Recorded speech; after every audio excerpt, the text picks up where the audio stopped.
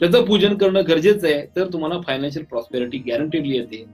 आज या जगामध्ये जगतामध्ये जर बघितलं तर सगळ्यात श्रीमंत दैवत कुठलं आहे? आपल्या भारतामध्ये आणि जगामध्ये पण. ते आहे व्यंकटेश बालाजी. अनेक लोक तुम्ही व्यंकटेश बालाजीचं भक्त असाल. सगळ्यांना मी विनवणी करेन की ज्यांना शक्य आहे त्यांनी वर्षामधून एकदा तर तिरुपती बालाजीला नक्की जायला पाहिजे. गॅरंटीचा फरक पडतोच पडतो. आणि आपल्याला शक्य जेवढं आहे तेवढं दान तुम्ही थोडंफार प्रमाणात पैशाच्या स्वरूपात एक ग्रॅम सोनं दोन ग्रॅम सोनं तुम्हाला जसं जमेल त्या हुंडीमध्ये दान करायला पाहिजे. शंभर टक्के प्रॉस्पेरिटी ही येते. येते कशावरून? कारण असं केल्यामुळंच आज ऑल ओव्हर वर्ल्डमध्ये सगळ्यात भारतामध्ये सगळ्यात श्रीमंत देव बालाजी आहे.